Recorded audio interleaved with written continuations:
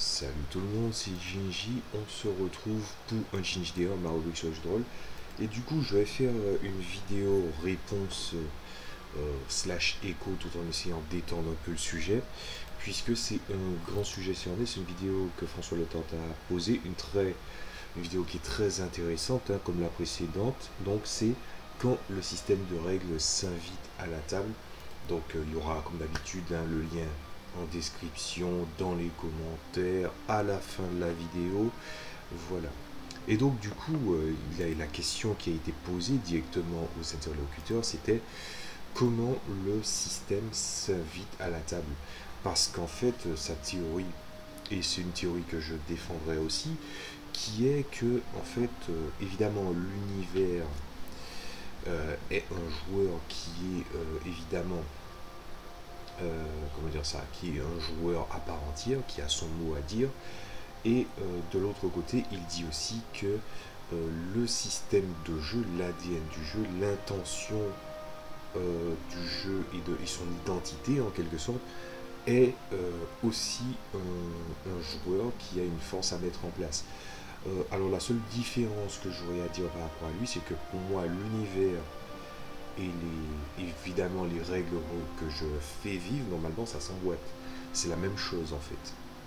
Voilà, c'est le seul, c'est le seul point sur lequel je diffère, mais dans l'ensemble, je suis majoritairement d'accord avec euh, je suis majoritairement d'accord avec ce qu'il a dit.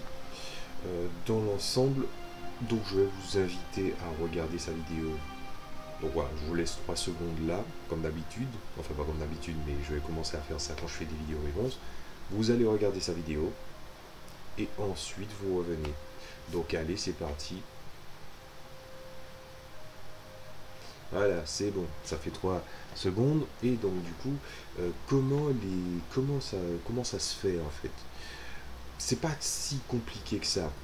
Rappelez-vous, je dis souvent qu'il y a trois, voire même quatre paramètres à prendre en compte dans un jeu de rôle.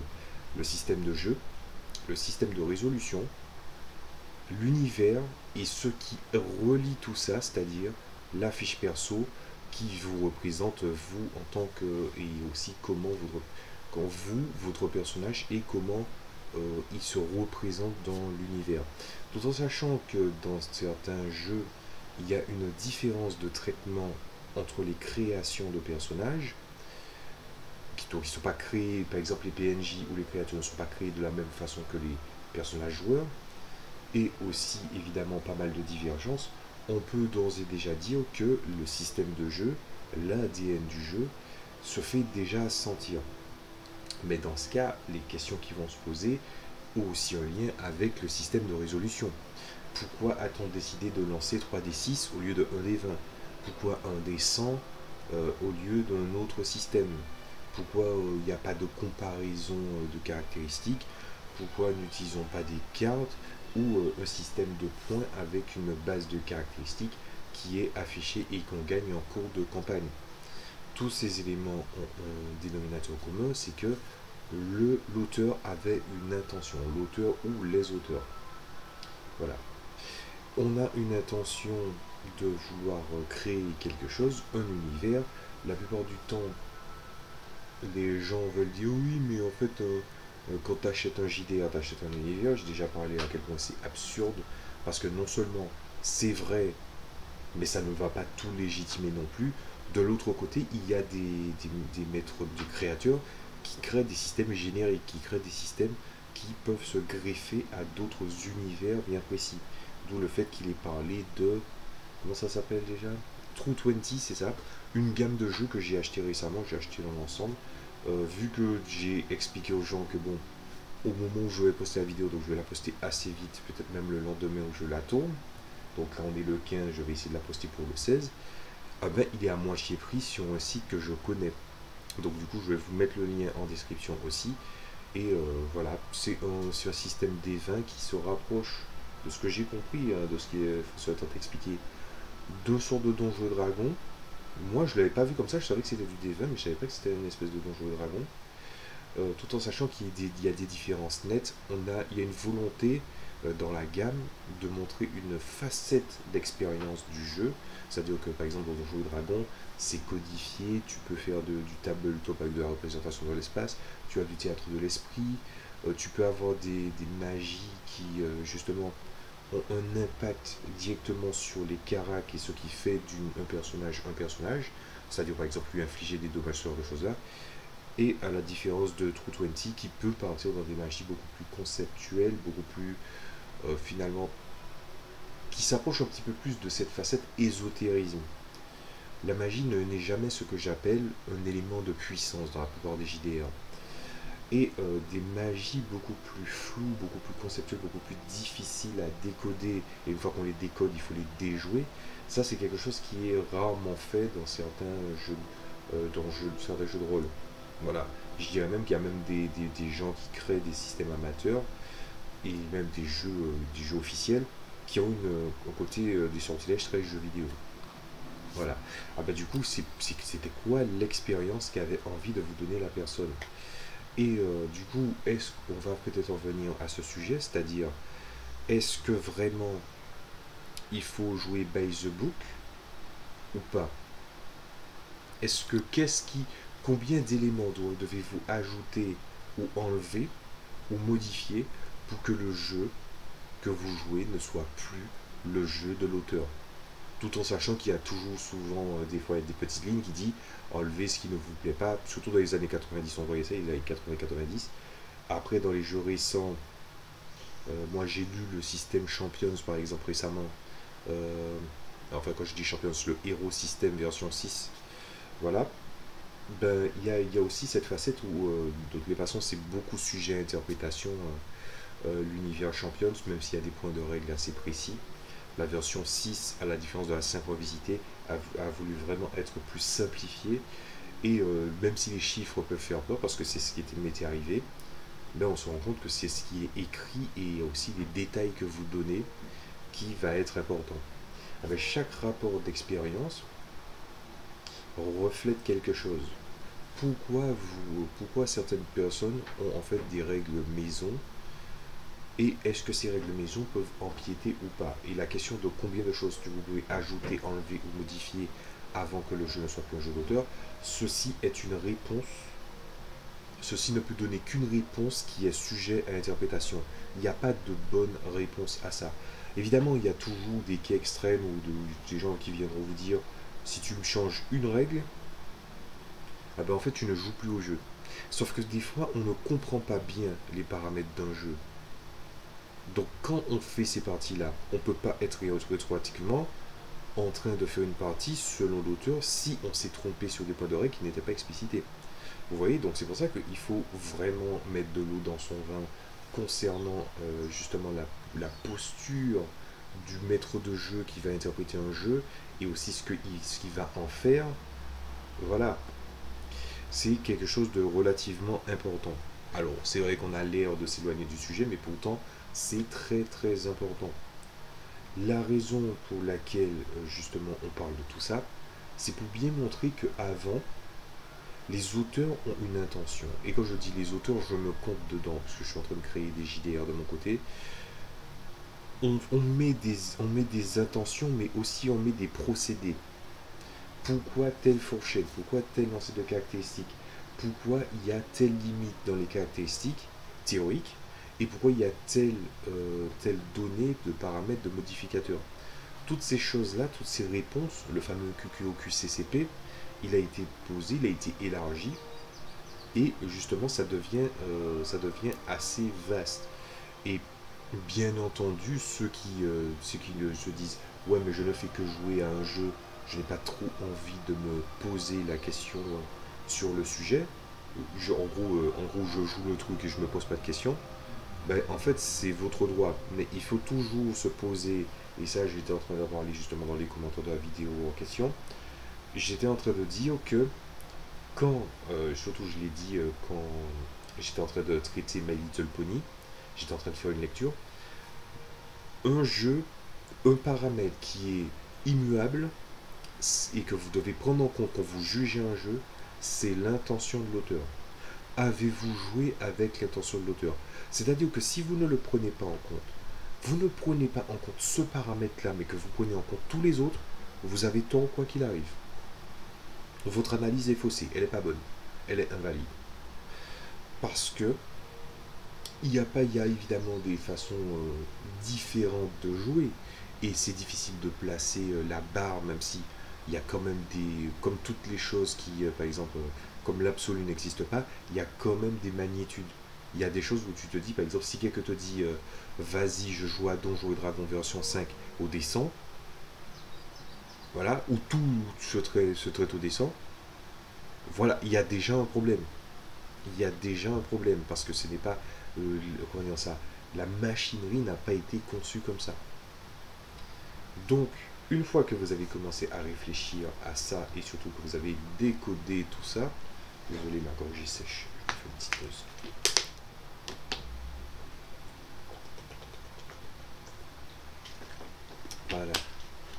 Évidemment, on évite les marques, hein, si jamais. Bien. Et donc, une fois qu'on prend en compte ce que l'auteur a voulu faire, des fois, en fait, euh, pour vous expliquer un petit peu mon rapport à ça, c'est vrai que je devrais, j'aurais dû commencer par ça, mon rapport avec les avant-propos et les intentions de l'auteur. Alors, quand je lisais les JDR avant, euh, quand je, je, dis avant, c'est au tout début, donc c'est 2010-2011, quand je les lisais, je ne regardais pas l'avant-propos, je passais directement à la, au premier chapitre. Et c'était une erreur de ma part. Alors il peut y avoir des remerciements, il peut y avoir des influences qui ont été utilisées, il peut y avoir les remerciements à des... Euh, je ne sais pas si j'ai dit remerciements, mais je le redis encore, les remerciements à certaines personnes. Il y a aussi des fois des textes d'ambiance pour vous expliquer un petit peu quel genre d'aventure vous allez vivre. Tous ces éléments sont importants, mais la, la première partie, c'est l'introduction.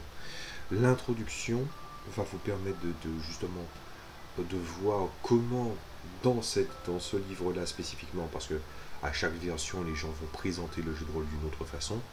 Si, euh, si vraiment ils veulent euh, comment dire ça, reconstruire en livre ou une autre version.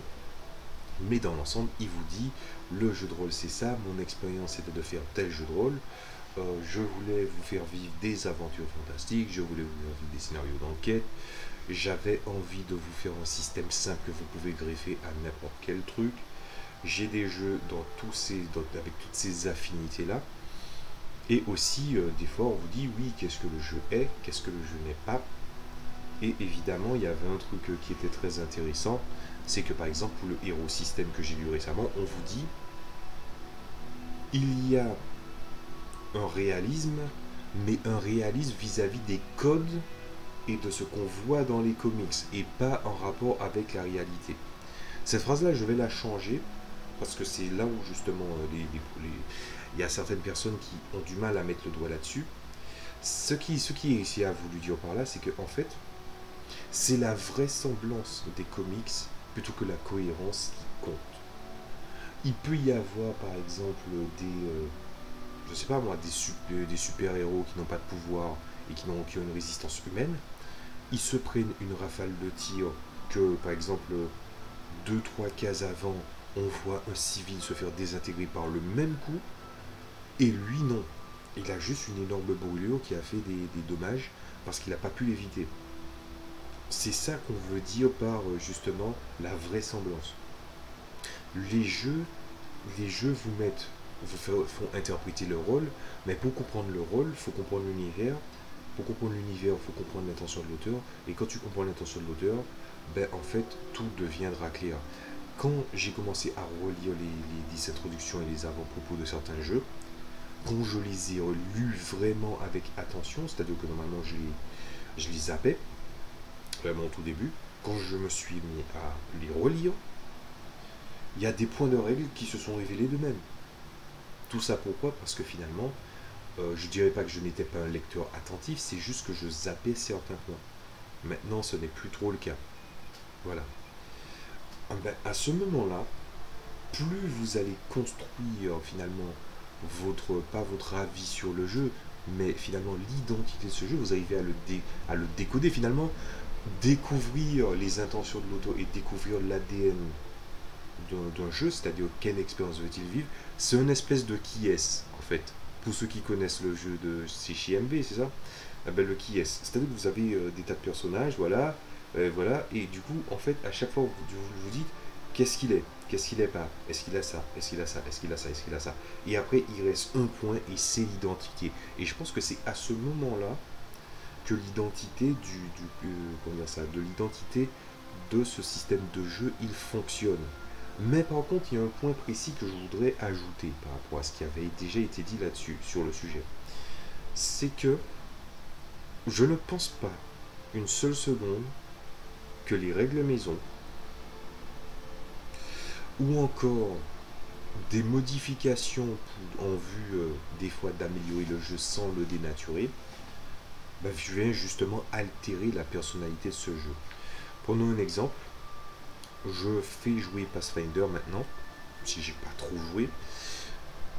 Pathfinder, il fait, je fais jouer Pathfinder version 1, mais il y a des points de règle et, des, en fait des choses qui ont été amenées qui, selon moi, n'étaient pas équilibrées. Attention, dans Pathfinder, il est admis qu'il y a des classes et des archétypes et des combinaisons de races, classes, archétypes qui sont plus optimisés que d'autres. Si c'est un jeu à optimisation, ça veut dire qu'il y a des bons et il y a des mauvais. Mais les lanceurs de sorts étaient vachement plus forts. Or, aucun élément dans les règles de Pathfinder ne dit que les lanceurs de sorts sont des espèces de super-héros, de surhommes avec des grands pouvoirs. Tous les personnages que vous incarnez, ce sont des héros. Ils ne sont pas obligés d'être égaux, pas plus qu'ils sont obligés d'avoir les mêmes capacités. Mais il y a un rapport d'équilibre où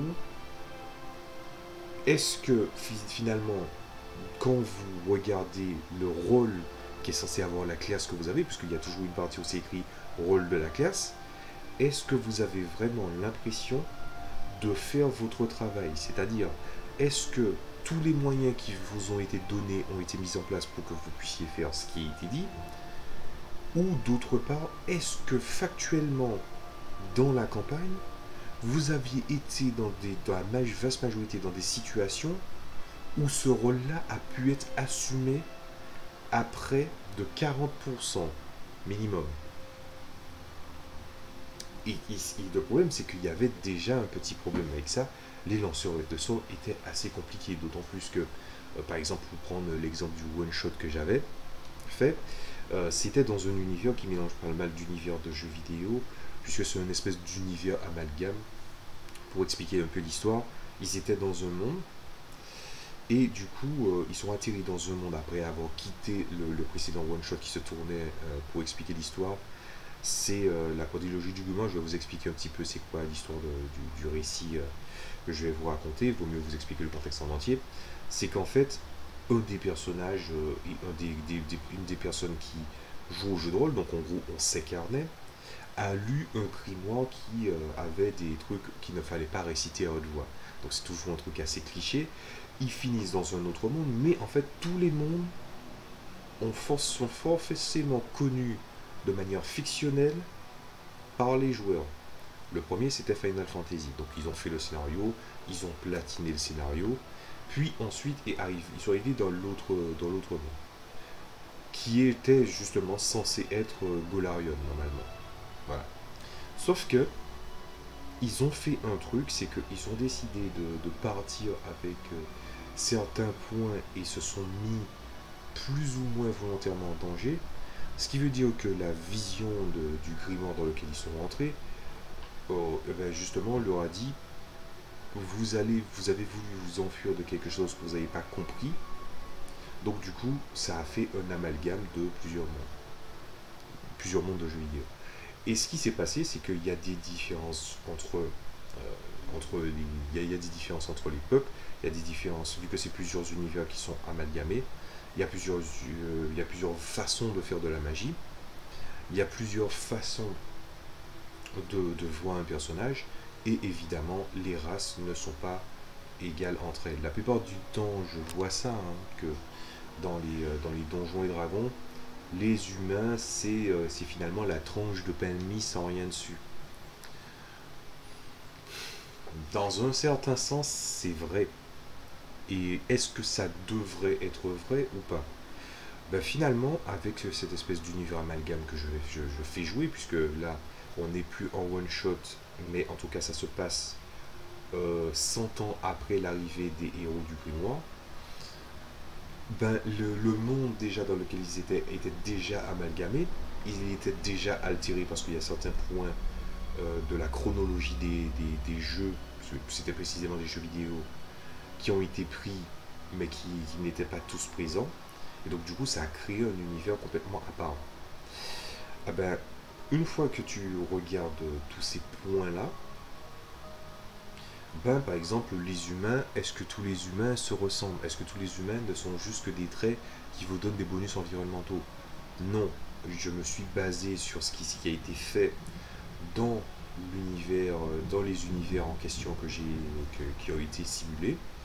Et du coup, il y a les humains de Golarion, puisque apparemment Golarion aussi figure maintenant sur la map ben, les humains de Golarion et les humains des Syria, les Syria de Warlords Battlecry, dans l'univers des Warlords, n'ont pas les mêmes stats, pas plus qu'ils ont les mêmes pouvoirs, en fait. Et donc tous ces, tous ces éléments pris en compte fait que je suis en train de faire jouer euh, un, autre univers. Et non seulement d'un côté j'ai dû... Euh, comment dire ça j'ai dû euh, justement modifier des règles pour que ce que j'ai dit, c'est-à-dire est-ce que quelqu'un est capable d'assumer à 40% ou plus son rôle ou pas? Donc une fois que cette euh, réponse ben, s'est avérée que non, il y avait un guerrier euh, qui était venu, enfin il y avait un gars, de Matab qui avait joué un guerrier, il s'est fait chier. Malgré le fait qu'il avait une meilleure dextérité, c'était pas terrible. En plus il y avait des, choses au niveau des, des il y avait une autre échelle d'ennemis aussi qui apparaissait, en matière de quantité comme de qualité. Et donc du coup, le nombre d'actions était relativement euh, piètre, on va dire. Ce qui fait que justement, euh, la, fameuse, la fameuse règle que vous voyez dans Pathfinder version 2 qui est que vous pouvez agir trois fois, ben justement, cette règle-là, je l'avais appliquée avant même qu'elle ne sorte. Tout en sachant que j'ai mis d'autres règles. Les autres règles n'ont pas vocation à dénaturer le jeu, au contraire, c'est un univers qui est assez ça. Les jeux comme Donjons Dragon Pathfinder, tu peux le modifier, mais en fait, si tu restes sur les bases qui ont été données, les interprétations que tu peux faire entre tes idées et ce que l'auteur a voulu retransmettre et les mécaniques qui ont été mises en place, parce que ces jeux-là, c'est surtout beaucoup de mécaniques, ben, il y a moyen de faire un compromis. Donc par exemple, est-ce que en ayant modifié euh, Pathfinder en, mettant euh, certaines règles, je ne vais pas parler des règles là, ben finalement vous aurez l'occasion de le voir en fait les règles à un moment donné. Ben du coup, euh, non, ça n'a pas trop changé quelque chose, c'est juste que le rapport entre les lanceurs de sorts et les non-lanceurs de sorts, ben justement j'ai remis les choses à plat et ils sont capables d'assurer leur rôle à plus de 40%. Ensuite, il vient aussi l'autre point, c'est-à-dire que j'ai parlé des races.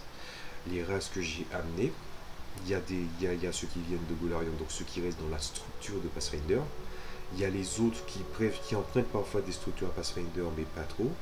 Et il y en a qui restent tout simplement complètement différents. Par exemple, tu prends un humain des Syria et un humain de Golarion, ça n'a rien à voir. C'est pas seulement une notion ethnique euh, ou même le rapport à la magie est différente. Dans Essyria, tu peux être le guerrier le plus. Allez, on va dire le guerrier. Tu peux être le, guerrier grumf le plus stupide qui soit. Ben, en fait, y a tes chances de pouvoir manipuler la magie ne sont jamais de zéro.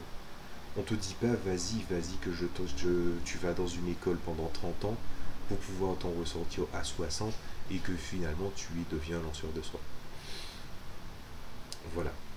Les personnages peuvent manipuler la magie. Et donc du coup, comment c'était mis en place et euh, quelles, étaient les structures et les idées de création qu'il fallait amener avec ça? Ce qui fait que on se retrouve dans un univers qui est vaste, qui a pas mal d'endroits intéressants et pas mal de finalement de pays ou de continents intéressants. Tout ça en ayant modifié des règles maison. En fait, tout ça en ayant mis des règles maison, en ayant modifié des points qui, ne contrastaient pas euh, avec euh, finalement ce que disait l'auteur. qui était plutôt, voilà, qui avait vraiment une bonne, bonne complémentarité. Et aussi, par ce même moyen, du coup, les joueurs sont satisfaits, parce qu'il y a aussi des fois qu'on veut modifier un jeu, c'est des fois pour satisfaire les joueurs. Mais quand tu arrives à satisfaire l'univers, des points de règle, donc s'il fait l'ADN sans altérer l'ADN du jeu et l'intention de l'auteur, et aussi tu arrives à aider les joueurs, ben encore une fois, je rappelle ce que je disais, c'est-à-dire que pour moi, il n'y a pas un personnage qui est l'univers qui vient intervenir, et il n'y a pas aussi un personnage qui est le système de règles qui intervient. En fait, les deux sont un seul et en fait, ils figurent en un seul et même joueur. Parce que finalement, c'est. Comment expliquer ça?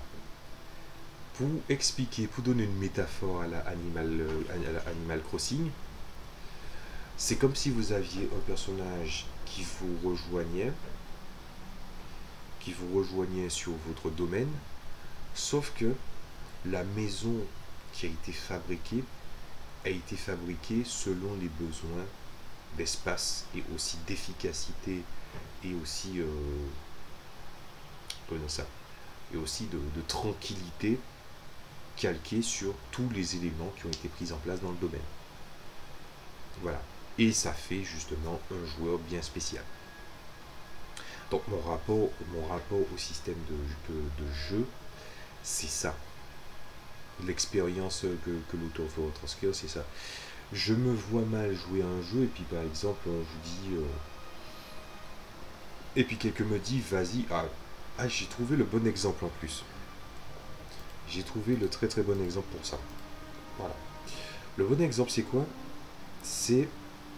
Je me rappelle qu'il y a un de mes une de mes connaissances qui, euh, comment dire ça, il, euh, il me disait qu'il a commencé à jouer avec Nullbuck, mais il jouait, en tout cas le MJ jouait au donjon de Nullbuck en JDR. Je vais donner mon opinion sur le donjon de Nullbuck vite fait. Euh, où justement, c'est le donjon de Nullbuck, c'est l'univers du donjon de Nullbuck, mais il n'y a pas d'humour.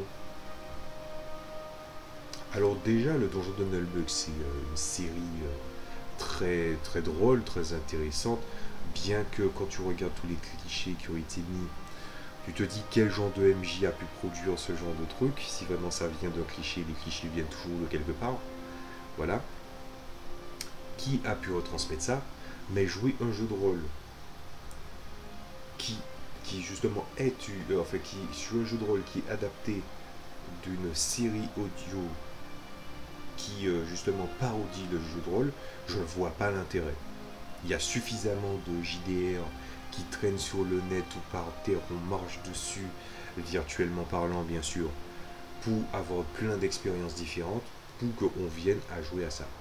Mais le pire, c'est de jouer à Pass, euh, pas à Pathfinder, j'ai failli dire Pathfinder, au donjon de Nullbuck, sans l'humour. À la limite, je, veux bien concevoir, parce que, encore une fois, ce qui est vrai pour moi n'est pas vrai pour les autres. Des gens peuvent dire oui, mais j'adore l'univers de Noël j'adore le côté décomplexé, euh, tout ça. Et ils diraient même j'adore l'univers visuel, et ils auront raison. Mais justement, ce qui a le plus intéressant avec le donjon de Noël bon, après, il y a eu des illustrations patata d'accord, mais jouer à Nullbuck sans l'humour, ça n'a aucun sens. Vraiment, ça n'a aucun sens. Donc, tout ça pour dire que j'essaie toujours d'être en adéquation avec ce que l'auteur euh, veut présenter. Et la question c'est est-ce que déjà c'est même pas la il y, a, une autre question qui vient derrière et j'en avais parlé dans des vidéos précédentes. C'est même pas seulement est-ce qu'on comprend ce que l'auteur veut dire, mais est-ce que l'auteur a utilisé les bons moyens qu'il avait à disposition pour pouvoir représenter cette expérience? A-t-il vraiment fait tout ce qui était en son pouvoir pour que l'expérience puisse être palpable et, euh, du coup que cette expérience qu'il veut retranscrire, les gens puissent le reproduire. Est-ce que finalement le système de jeu, le système de résolution, euh, l'univers et la fiche perso sert l'univers? Parce que je dis ça parce que évidemment il y a toujours ces systèmes qui traînent où tu joues au D6, tu joues au D100, et puis tu, manif tu changes des échelles ou ce genre de choses là. C'est simple. Et des fois il y a des jeux, il vaut mieux le faire simple. Mais est-ce que c'est vraiment le meilleur moyen qui a été mis en place pour pouvoir être utilisé? Voilà, j'ai eu un cas avec... Euh, j'ai eu le cas avec... Euh, je pense que j'avais déjà expliqué ça avec... Euh, comment dire ça? J'avais déjà expliqué ça une fois quand j'ai parlé de mon rapport au jeu de rôle, donc c'était il y a très longtemps. J'avais expliqué qu'au début, j'étais tombé sur un jeu, un jeu qui était, qui était déjà plus ou moins sorti, qui s'appelait Tiamat. Et puis il disait oui, mais c'est un jeu où tu vas reprendre des trucs d'arts martiaux. Euh, voilà, c'est inspiré de tous les trucs qui sont liés à la baston. Si tu veux jouer à la baston, jouer ça. J'ai lu le truc, j'ai vu les caractéristiques. C'est le truc qui m'a choqué en premier. C'est les caractéristiques, je me suis. Et puis après, j'ai regardé la description des. Euh, pardon, notification. J'ai vu qu'il y avait, euh, j'ai vu qu'il y avait euh, aussi les descriptions des attaques. Je me suis dit, bof, hein, c'est pas terrible. Et du coup, j'avais posté à ce moment-là sur le forum que oui, pourquoi c'est fait comme ça et pas autrement. Et du coup, la personne, je pense, a créé le jeu. Je sais même pas si, si j'ai toujours mon, forum, mon compte forum actif. Et il m'a dit, bah, si, si tu trouves que ça ne te plaît pas, tu devrais peut-être créer ton propre jeu de rôle. Et c'est comme ça que tout a commencé quand j'ai commencé à créer le jeu de rôle. Et du coup, mon deuxième vidéo que j'ai en préparation, c'est plus ou moins le même topo, avec une échelle beaucoup plus vaste, mais toujours le même topo. C'est-à-dire que c'est un univers où tu peux faire de la baston. Sauf que, est-ce que les moyens ont été mis en place euh, pour une meilleure lecture, pour une meilleure compréhension, ou est-ce que ça a été amené euh, de façon intéressante selon moi? Ben non. Mais le jeu, il est populaire. Tiamat. Donc ça veut dire que peut-être que ce n'était pas pour moi ce procédé-là. Ce qui veut dire qu'une appréciation avec le, jeu de rôle, il peut être subjectif, tout comme il peut être objectif aussi. Pour moi, le problème quand tu regardes posément et la manière dont ça a été mis en place et vu les jeux, comment euh, les jeux de rôle, comment ils peuvent représenter le combat euh, des fois, ben euh, je, je pense que c'est autant objectivement que subjectivement même si je prends quand même la grosse part de subjectif, puisqu'il y a des gens qui apprécient ce jeu qui s'appelle Tiamat. Voilà. Donc, tout ça pour dire, et je pense que ça sera ma conclusion, j'ai beaucoup parlé de, mon rapport avec ça, c'est que ce fameux personnage, je le vois assez souvent. Euh, la, plupart du temps, quand je dois regarder des trucs, pas spécialement avec des points de règle, mais avec mes compétences, je, me rends compte que par exemple on, m'explique qu'il y a tel point de règle qu'il faut que je respecte. Ou bien cette chose là elle est dirigée un peu est-ce que le chiffre est pas un peu disproportionné?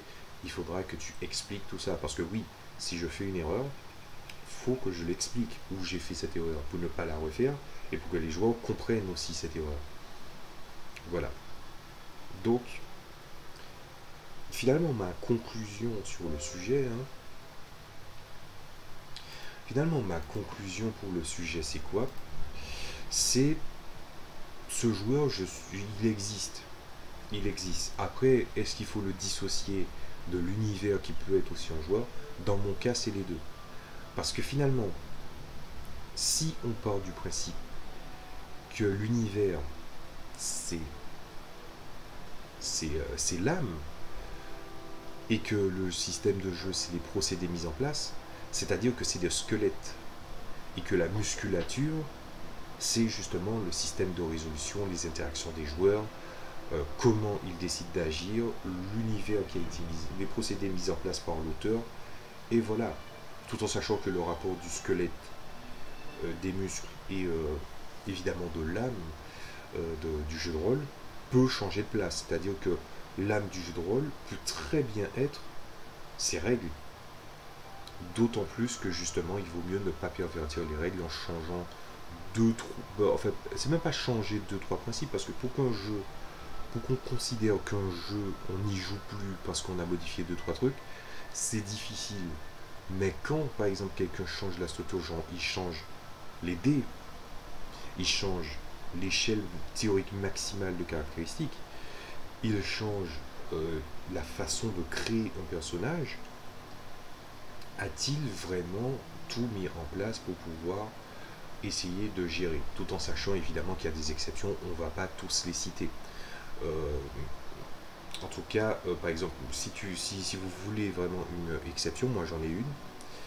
Pour le one shot, ce que j'avais fait, c'est que je, je n'avais pas encore regardé sur Pathfinder qu'il y avait des tas de profils, genre pour des civils ou des choses comme ça, et qu'il existait par exemple des classes dites non héroïques.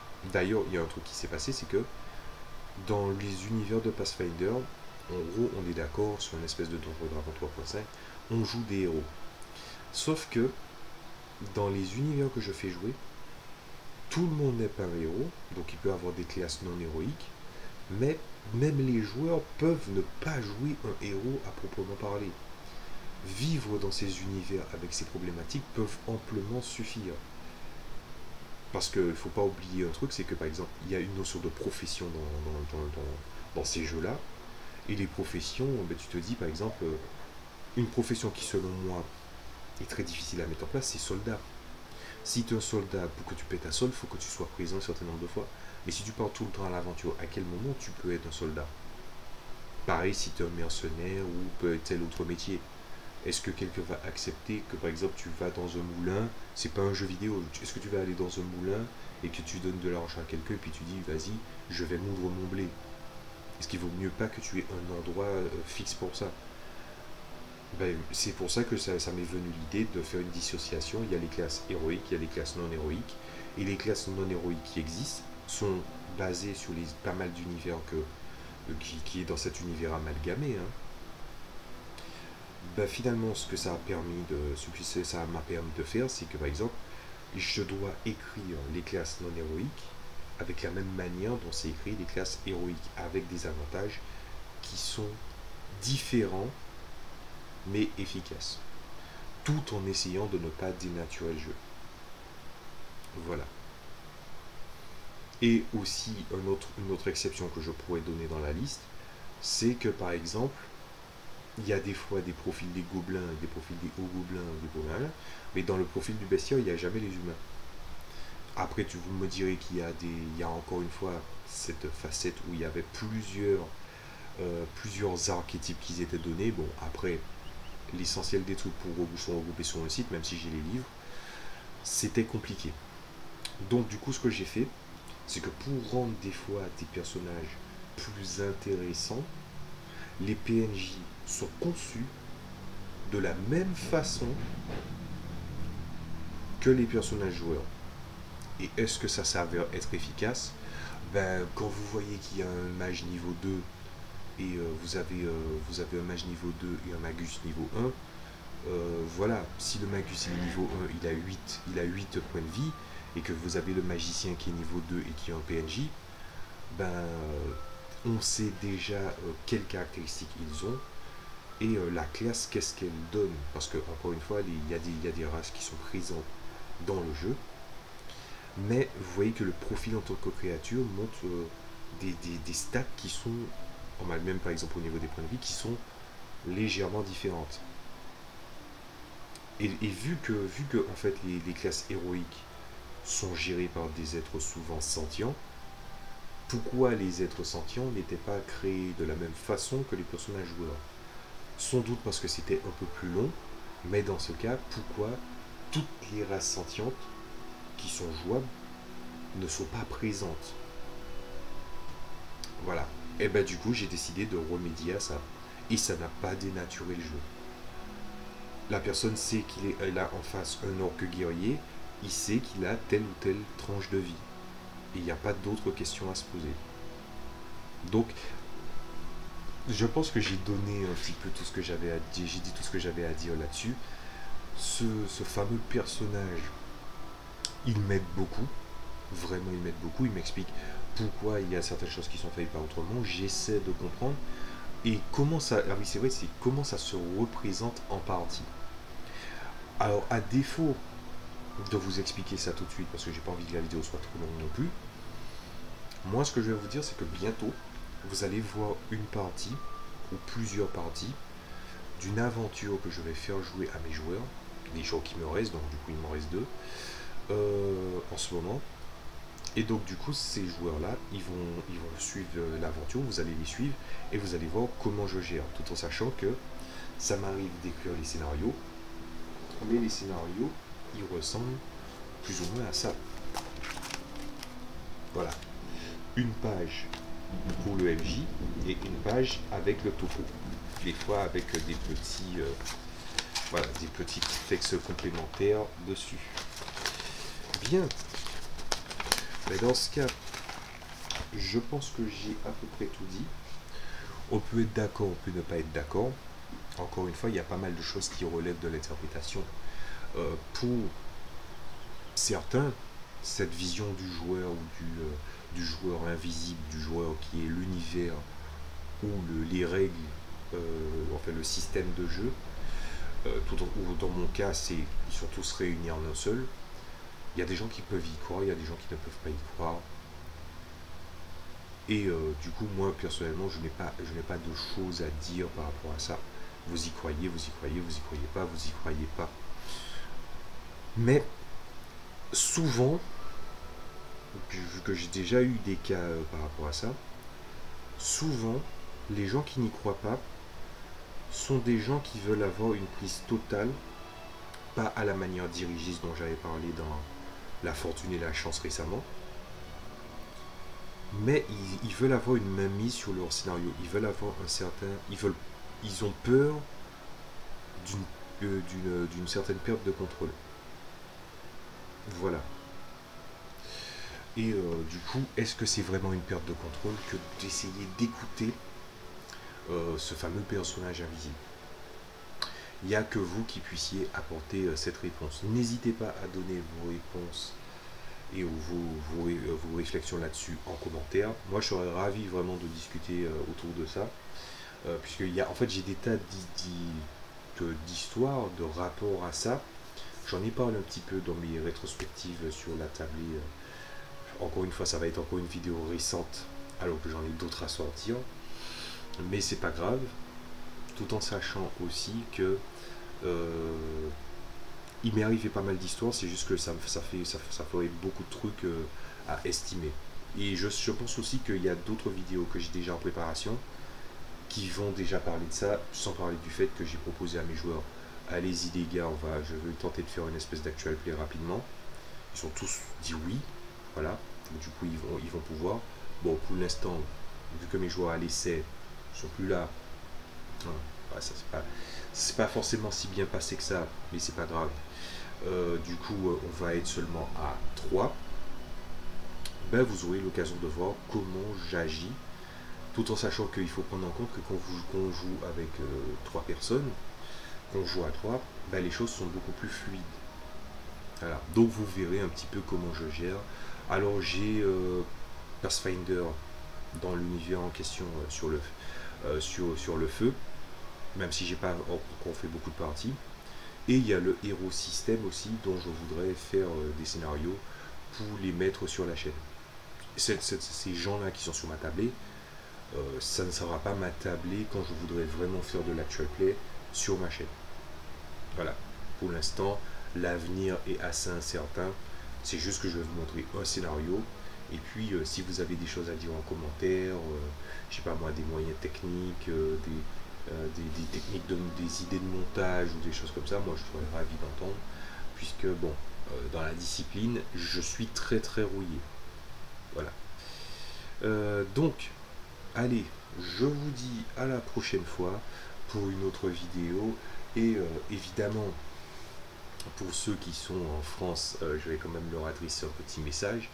En France ou bien en France, métropolitaine, ou les Républiques françaises en général et qui voient cette vidéo. Certes, il y a eu un déconfinement, mais souvent dans les pandémies, c'est la seconde vague qui fait le plus de dégâts. Donc, n'oubliez pas les gestes barrières, n'oubliez pas, voilà, le petit truc pour se laver les mains, rester à une certaine distance et si vous avez des masques, n'oubliez pas de porter les masques. Alors je suis, je sais que c'est, vous en avez marre d'entendre ça. Mais au vu de la, moi je suis en Martinique, au vu de la progression des cas qui arrivaient euh, avec euh, la sortie du confinement, voilà, les choses peuvent être pires. Donc essayons de limiter en étant tous responsables. Pour soi-même, aussi pour les autres. Allez, à plus.